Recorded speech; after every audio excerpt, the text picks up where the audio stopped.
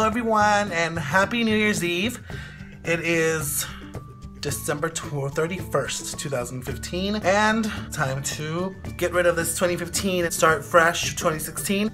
I'm not doing anything right now, I'm pretty much just washing clothes, doing a couple of chores here and there. But later tonight, I'm gonna be celebrating New Year's Eve, not with my family this year, but with um, a buddy of mine, and we're gonna go have dinner. So it's a Mexican restaurant and it's supposed to be really cool. We'll see. So I don't know if you guys can see me or not, but I'm here. Anyway, I'm on my way to my buddy's house and then we're gonna head out to dinner. I don't know if you guys can see me, but we're running a little late, like always. Tony De La Rocha, always late. So I said we were gonna go to this restaurant called Matador. No, wait, what is it called? Oh, Comedor Guadalajara, but we're not gonna go there.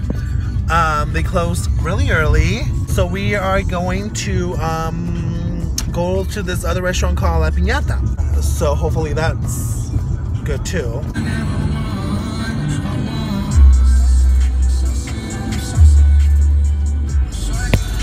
Okay, oh, I'm still sleepy. It's the next day. Happy New Year's, everyone. I didn't. I drank last night, but I didn't drink as much as I thought I was going to.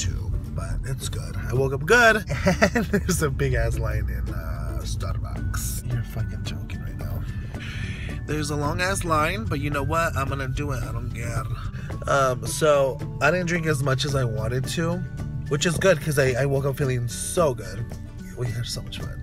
We went to go eat to this place called La Piñata, which was amazing. I had a paloma drink, which is weird to find in a lot of Mexican restaurants, but it's really good.